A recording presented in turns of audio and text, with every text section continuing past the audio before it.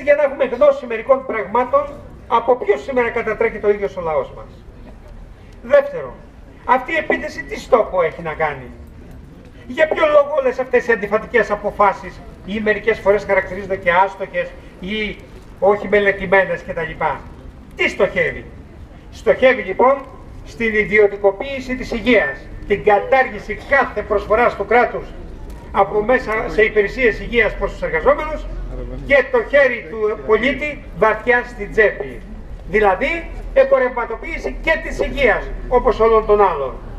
Εμπορευματοποίηση της υγείας όμως τι σημαίνει; Σημαίνει ότι το κόστος θα μετακυλιστεί στις τσέπες των ασθενών, των πολιτών. Σημαίνει ότι εγώ από το 2009 που ήταν 5,3 δις η επιχορήγηση για το φάρμακο θα την κάνω 2 δις το 2014, κάτω από το μισό δηλαδή, σημαίνει ότι περικόπτω 30%, 32% τους προπολογισμού των νοσοκομείων για το 2014, 30% τους προπολογισμού του ΕΟΠΗ του σημερινού του καταραίοντος αυτού κατασκευάσματος και περικοπή 15% στη φαρμακευτική δαπάνη. Τι άλλο σημαίνει αυτό η ιδιωτικοποίηση. Ότι οι υπηρεσίες υγείας θα λειτουργούν σαν επιχειρήσεις. Άρα δεν μας δεν μας χρειάζονται οι εργαζόμενοι. Πρέπει να τους διώξουμε, να τους μετατάξουμε, να τους απολύσουμε. Δεν ξέρω τι θα κάνουν. Γιατί πρέπει να έχει φτηνό εργατικό δυναμικό, λίγο και όσο χρειάζονται αυτοί για να προσφορήσουν το περισσότερο κέρδος. Άρα λοιπόν είμαστε μπροστά σε μια μονοπωλιακή επίθεση απέναντι στα στοιχειώδη δικαιώματα των εργαζομένων και των φτωχών λαϊκών στρωμάτων. Γίνεται μόνο στην Πρέβεζα, όχι, σε όλη την Ελλάδα. Γίνεται μόνο στην Ελλάδα και σε άλλες χώρες. Θα μου πείτε με ιδιαίτερη ένταση στην Ελλάδα. Άρα λοιπόν, μια γενικευμένη επίθεση σε όλο το μέτωπο του λαού τι απαιτεί, γενικευμένη αντιπαράθεση.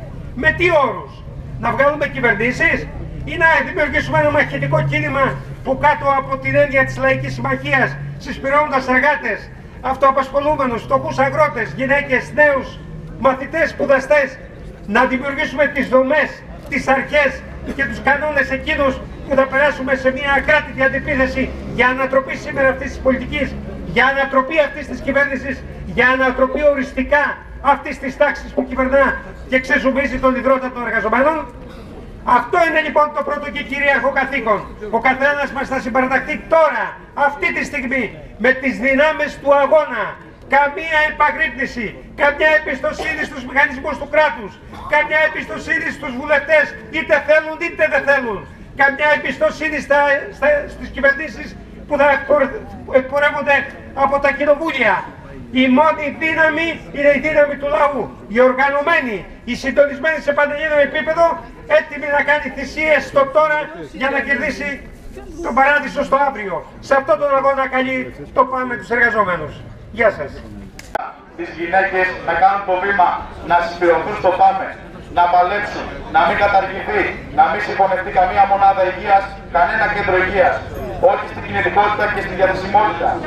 Με λαϊκή συμμαχία διεκδικούμε την πανελλαδική ανάπτυξη σύγχρονου, αποκλειστικά δημόσιου και δωρεάν συστήματος υγείας, με προσανατολισμό στην πρόνοια και την έγκαιρη διάγνωση.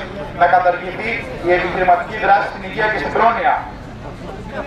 Δουλειά για όλους, μόρφωση υγεία, κρίση να πληρώσει η πλουτοκρατία. Εργατή, ναι, το πάμε σε καλή. Σου κήρυξαν τον πολέμο, πολέμα τους κι εσύ. Εργάτη, ναι, το πάμε σε καλή. Σου κήρυξαν το